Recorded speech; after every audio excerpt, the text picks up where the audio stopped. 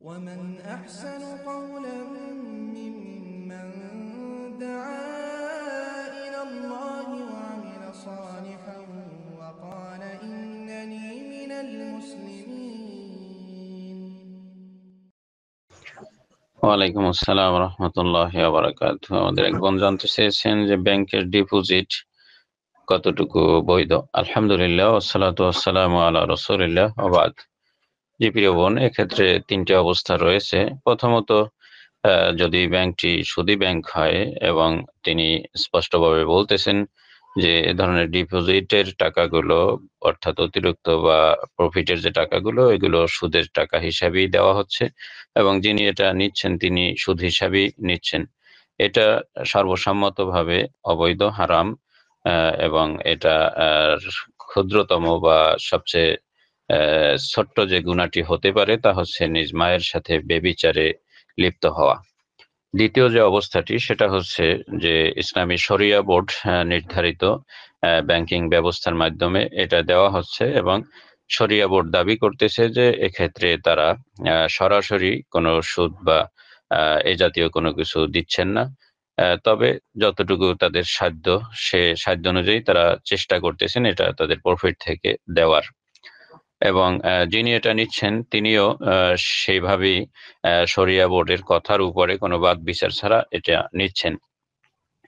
তো এক্ষেত্রে ওই শরিয়া বোর্ড যদি কোনো ভুলভ্রান্তি করে, সেক্ষেত্রে তারা দায় ভার নিবেন। কিন্তু যিনি এটাকে গ্রহণ করতেছেন, তার দৃষ্টিতে এটা যদি বৈধ মনে হয়, তাহলে তিনি নিতে পারেন। কিন্তু এটাও একটু যাচাই বাছাই করাটা এটা কিন্তু উচিত।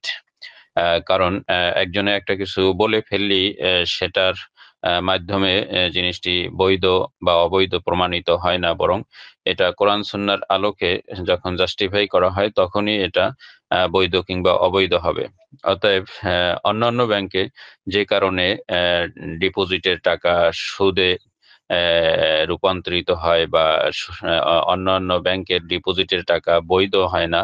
ঠিক একই কারণ যদি ইসলামী শরিয়া বোর্ড কর্তৃক দেয়া ডিপোজিটেও যদি থাকে, তাহলে বিষয়টি কিন্তু প্রশ্নবিদ্ধ। সরাসরি আমরা হারাম না বললেও সরাসরি কোনো ধরনের কোশ্চেন ছাড়া এটাকে বৈধ বলারও সুযোগ থাকে না। অতএব উভয় পক্ষরই এক্ষেত্রে যাচাই বাছাই করা উচিত। নাম্বার তিন অনেক কিছুই ইসলামী শরিয়াতের মাসআলায় জায়েজ হয়। যদি আমরা ঘাটাঘাটি করি বাদ বিচার করি, তাহলে দেখা যাবে যে মাসালাগতভাবে একটি জিনিস জায়েজ।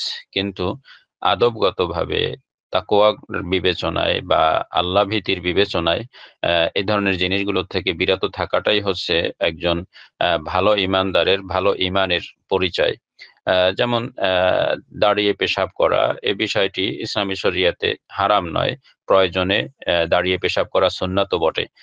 কিন্তু একজন আখলাকদারী একজন আদবদারী একজন শিষ্টাচার এর চর্চাধারী মানুষের জন্য এমন কাজ কিন্তু কখনোই আহ, শোভনীয় নয়। কিন্তু দাঁড়িয়ে পেশাব করা কিন্তু মূলত ইসলামে জায়েজ রয়েছে। তো ঠিক এভাবেই ব্যাংকিং যে ডিপোজিটগুলো রয়েছে, সেক্ষেত্রে আমরা আসলে এই ডিপোজিটের জন্য কতটা বাধ্য? ডিপোজিট আমাকে করতে হবে বা ডিপোজিটের থেকে আমাকে প্রফিট নিতে হবে? এই ধরনের যে লেনদেন, সেই লেনদেন আমরা করতে কতটা বাধ্য? এটা ছাড়া কি আমাদের জীবনযাপন অচল কিনা? যদি অচল নাই হয়, তাহলে এ ধরনের সন্দেহ সংশয় পূর্ণ জিনিসগুলোর ভিতরে না যাওয়াটাই হচ্ছে আমাদের জন্য উত্তম, আমাদের ইমানের জন্য এটা নিরাপদ, আমাদের আমলের জন্য নিরাপদ। আল্লাহ এবং তার রাসুলের সন্তুষ্টি অর্জনের ক্ষেত্রে এ সমস্ত জিনিস থেকে বিরত থাকাটাই হচ্ছে উত্তম। কারণ নবী মোহাম্মদুর রসুল্লাহ সাল্লাম বলতেছেন দা মা ইউরিবুকা ইলামা লা ইউরিবুক।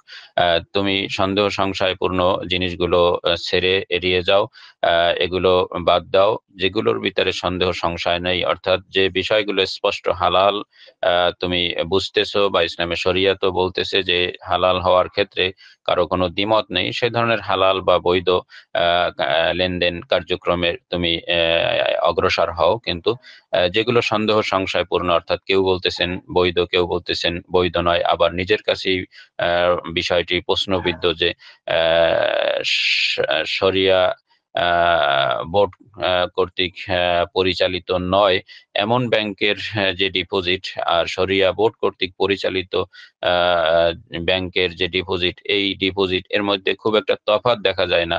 এভাবে নিজের মনের কাছেই যখন বিষয়টি সন্দেহযুক্ত হয়ে যায়, তখন এর থেকে বিরত থাকাটাই হচ্ছে একজন বুদ্ধিমান মোমেনের কাজ।